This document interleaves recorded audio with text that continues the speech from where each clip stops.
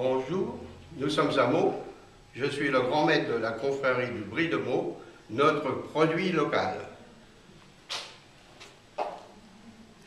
Pour faire un brie de Meaux, il faut 25 litres de lait. Ce lait vient d'une vache qui s'appelle la Holstein.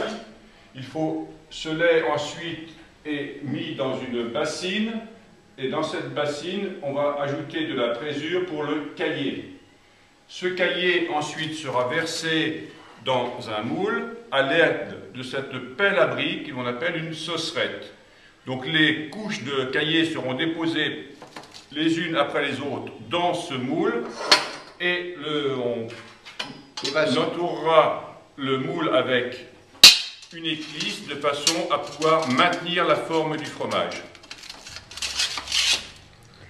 Combien de temps pour fabriquer un bon mot Alors, pour faire un brie de mot, un minimum de temps est nécessaire, c'est-à-dire 4 euh, semaines minimum. Euh, maximum 8 semaines pour un brie de concours. Voilà. C'est une appellation contrôlée. Alors, c'est une appellation d'origine contrôlée. On dit même maintenant appellation d'origine protégée.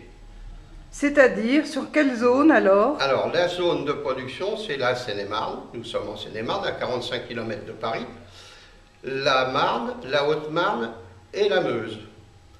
Ces départements-là euh, ont tous l'autorisation de fabriquer du brie de Meaux.